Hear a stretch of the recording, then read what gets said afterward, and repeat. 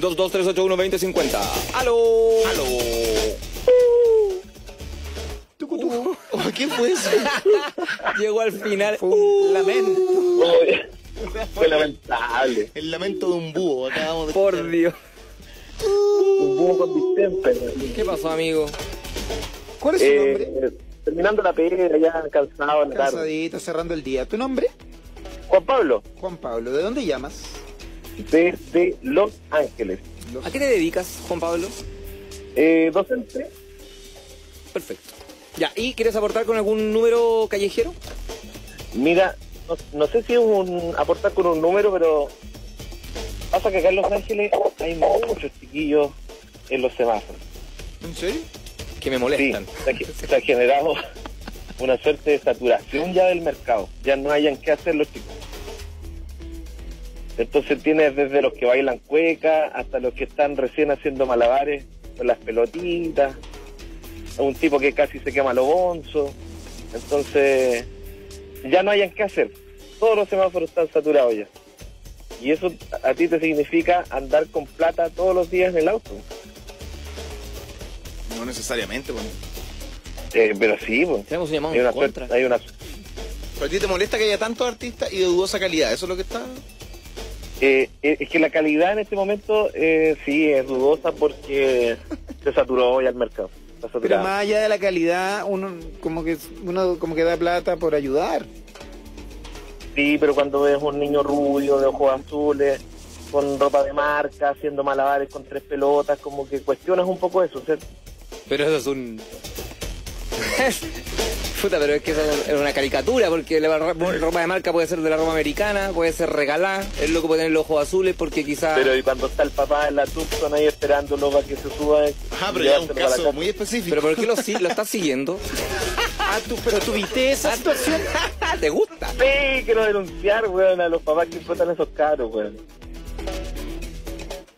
Y son de plata, weón. Tienen una Tucson.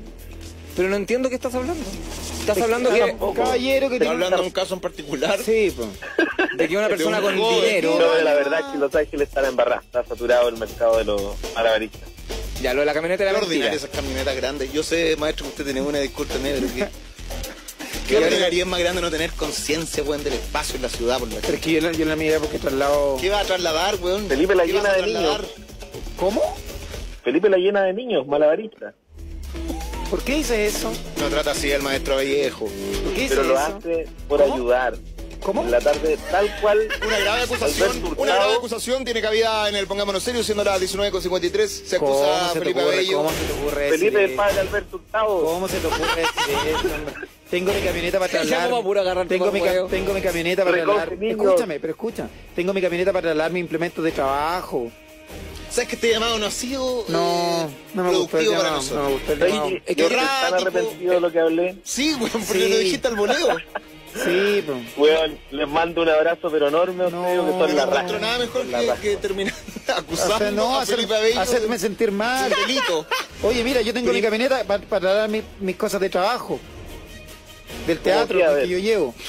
No me gustó el llamado. ¿Cómo? Como que. ¿Qué cosas de trabajo? Mi trabajo, mi escenografía en el teatro donde yo trabajo pues, desde hace tres años, en el Teatro Mori.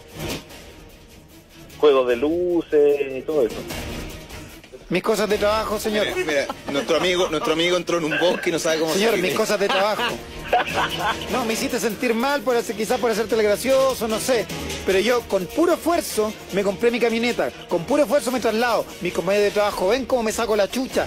Desde siempre, Aquí weón. estamos los chuchas. No me gustó, no me gustó tu llamado, amigo mío. Fuiste falto de Qué respeto. bueno, colega actor, Escucha, porque yo también escúchame. estudié teatro. Escúchame, fuiste falto de respeto. Soy pobre. Fuiste hiriente.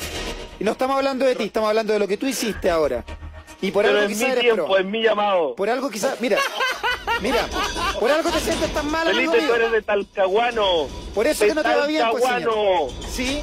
¿Y qué tiene que ver eso? Guano, guano. Mi- ¿Por qué no le cortas, Felipe eh, Peña? Yo pensé que estábamos No, yo les voy a cortar a ustedes. No, pues amigo mío, nosotros te vamos a cortar porque nos acabas de insultar y faltar el respeto. Chao. Nos faltaste el respeto. Y te lo está faltando a ti mismo también. ¿Sabes qué? Parece que Entró en, un primer- entró en un bosque y no sabía cómo salir, se avergonzó de sí mismo. que eso, eso fue lo mejor. El mejor castigo fue que se avergonzó de sí mismo y entró en una nebulosa de guano, triste. guano, guano. Triste. Pero- Haciendo un juego de palabras. Talcahuano, guano. No, pues ya. Parece que nos cortó primero. Igual te regalamos esto. Puta bombero, weón. Pero Carlos. Chao, concha tu madre. Ese fue para Carlos. Ahora vamos con el que era para el auditor. Chao, Pero ya- concha tu madre. Ya cuando todo lo de la camioneta Tucson, ya la, y luego se retractó, ya la historia venía y luego me Sí, acusa venía a mí. te acusa, fue una gran acusación. Yo lo único que Cuando estaba yo diciendo, yo me refería a tu camioneta grande, pero no nada de eso de los niños y todo. Yo te conozco, eres una persona intachable, no. Gracias, maestro. Yo no adhiero a la opinión de este pelana. Gracias, maestro. Y, y habiendo gente tan linda en Los Ángeles, yo conozco gente muy linda de ahí. Y que salga este. Lo hizo por hacer humor. Es ese es el problema cuando uno, cuando uno no sabe y empieza a caer en estos, en estos derroteros, weón, pero sombríos. Quiso hacer humor y, y no le resultó. Y después se picó. Pero tú notaste el momento en que Sí, se dio pena. Cuando se picó. Cuando se dio cuenta que. Cuando le dijimos, bueno, faltarle el respeto Sí. como radio, y ahí dijo desde Talcahuano, soy Sí. actor. Ahí ahí- Buscó, sí, pero uno. ¿Notaste cuando sintió lástima Sí. de sí mismo? Pero oh, es que- ese momento. Pero que ellos no saben que nosotros trabajamos así, pues, haciendo sentir mal a la gente, haciéndoles jugar con su cabeza. Sí, pues por eso estamos acá y los demás están escuchando. Por eso ustedes están escuchando y nosotros estamos hablando.